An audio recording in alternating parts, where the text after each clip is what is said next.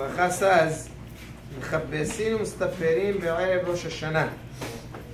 On Erev Rosh Hashanah, we take showers and we take haircuts.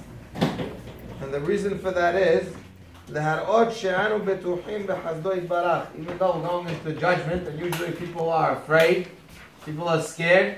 However, we are batuah, we are guaranteed בחסדו יתברך that HaKadosh Baruch Hu is going to have hesed v'rachamim on us, and we're going to come out as victorious. We're going to come out, of course, with a good judgment. However, he brings down leilbash. A person should not wear should not wear any kind of silk clothes. And he brings down silk is not specific. Rather, hashuvim. Person should be careful on, on Rosh Hashanah. One should not wear the extra special clothes that he has. The extra special clothes, leave that for a regular holiday, for Sukkot.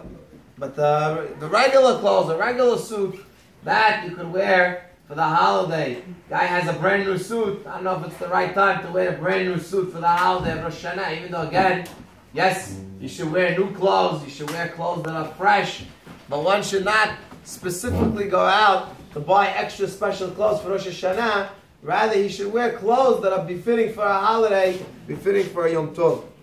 Also, nohagim l'tbo be'erev Rosh Hashanah. The minhag, the custom is that we go to the mikveh on Erev Rosh Hashanah. One should try his best to try to make sure that he goes to the mikveh during this day throughout Erev Rosh Hashanah.